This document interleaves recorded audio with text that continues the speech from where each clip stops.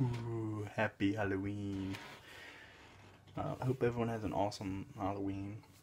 I'm spending the day just watching scary movies all day. I think it's gonna be fucking awesome. I love this holiday, but it just sucks because it's it doesn't feel like Halloween to me, and it hasn't for the past couple years. I don't know why. It just doesn't seem like Halloween to me. But I want to know what your favorite Halloween movies are. Right now, I'm watching the Halloween movies with Michael Myers. I want to know what all your Halloween movies, your favorite ones are in the comments. Um, have a spooky Halloween. I'll see you all tomorrow. Whoop whoop.